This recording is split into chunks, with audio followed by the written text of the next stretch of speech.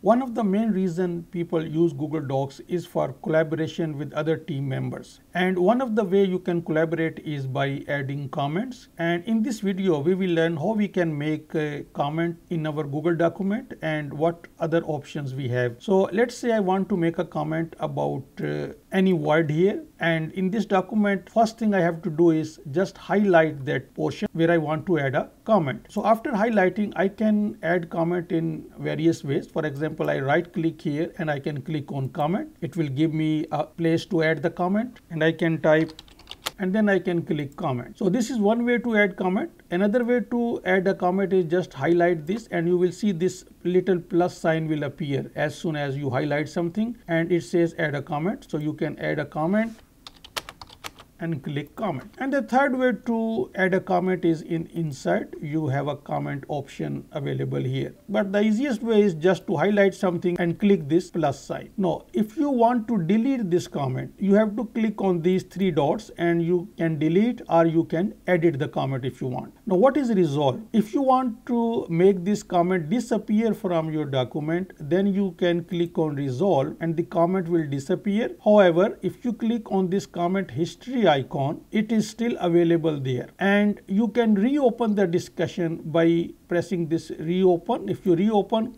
then this comment will again appear and not only this but all the previous comment uh, about this uh, document will appear here so these are few options available in comments so one uh, one other way is if you want to ask somebody to make a comment about something, you can also do that. And for that, what you have to do is select something, insert a comment first, and here you just add a plus sign and then you can select any of your contacts. So just start typing uh, the email if you know, or you can select uh, from the drop down list and you can add any person. And then you have to click this assign to this person. And if you click this, now once you assign, this dialog box will appear that you have to share share this file. Now you can give access for comment and you can also give access for editing as well. So I am giving comment access and if I click on comment, no, this person will get a notification that someone is asking for a comment and this person then will have to mark this as